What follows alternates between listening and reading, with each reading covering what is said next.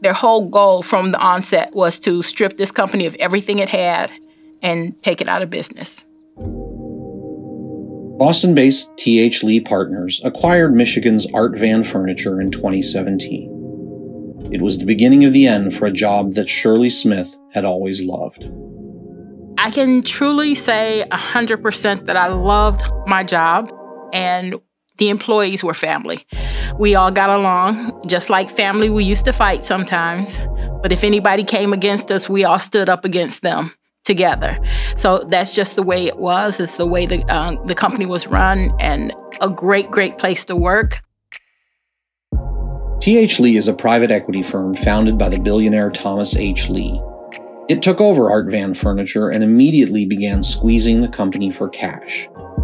It sold off the company's real estate for nearly $400 million and forced Art Van to lease the property back. By then, Shirley had long been a seasoned salesperson and manager at Art Van. She had a sense of what worked well for customers and for employees, and what didn't a lot of things started changing. Orders started coming in slower. And when you're promising a guest that they're going to have their furniture in four weeks, and then eight weeks comes and it goes and they don't have their furniture, you get an irritated guest. So the reason the furniture started coming in slower was because, and we're figuring this out in hindsight, we weren't paying our bills on time. In some cases, not paying at all. Private equity firms are responsible for some of the most harmful business practices in the United States. They can be found looting retailers like Art Van into bankruptcy, price gouging people for vital services, shortening life expectancy in nursing homes, or destroying local newspapers. Its abuses are pervasive, stretching across the American economy through many industries. In the case of Art Van, T.H. Lee was running a typical private equity playbook.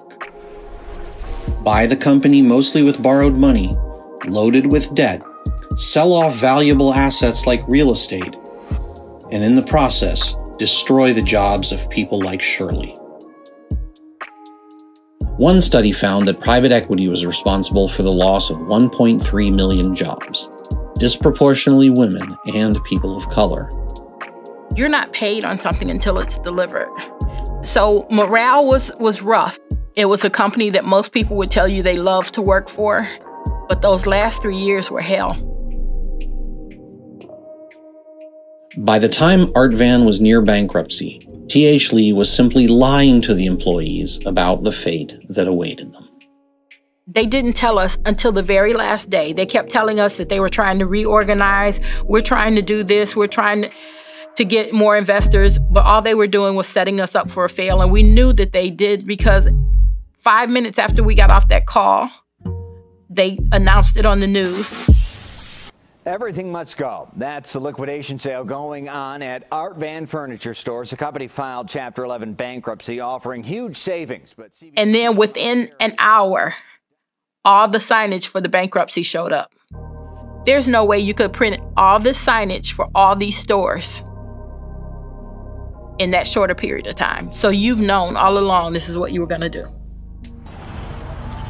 They are shutting all Art Van stores. It was a very tense time. Things just got out of hand. One of our managers had a gun pulled on her. We had associates crying because of destruction of the company, uh, because of the destruction of a legacy. Picture Metro Detroit without Art Van furniture. Well, it's not easy. It was a heartbreak for not only employees, but for our guests. And it was just a shoulder shrug for TH Lee. They didn't care. We can break the cycle of private equity firms destroying jobs like Shirley's and wrecking companies like Art Van by passing the Stop Wall Street Looting Act. It needs to stop. They need to push the Stop Wall Street Looting Act through our elected officials need to put a stop to it because they should not be allowed to keep destroying not just lives, the lives of the employees, but of the communities.